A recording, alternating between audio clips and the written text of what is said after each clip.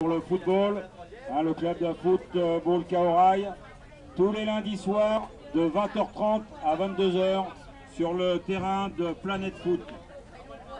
Donc euh, c'est une équipe francophone, il y a des luxembourgeois, suisses, des belges, des français.